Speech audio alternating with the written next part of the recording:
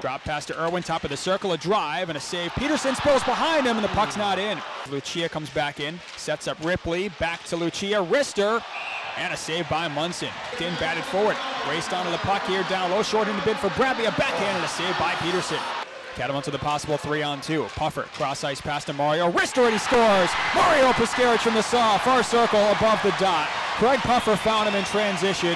He beats Cal Petersen glove side through a partial screen. He's got nearly 60 goals in his career. Back in Fogarty near side, top of the circle, fires and scores. Steven Fogarty, a rip into the upper corner, absolute bullet. High glove side on Packy Munson. Got wants a possible two on one here. Shaw right circle, a wrister and a save. Petersen, the rebound was behind him. Hard-working defensive shift here for the Catamount. Centering pass one time and a save Munson. Trying to clear Blondelay, kept in low right circle.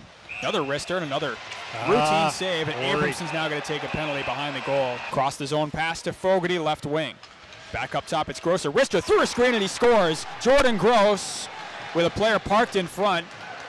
And Notre Dame retakes the lead. It's 2-1 with 7.38 to go. Five seconds to go. Tipped up the wing for Notre Dame. A shot is blocked by a diving Lee, but that's going to do it. And Notre Dame with a third period goal on the power play.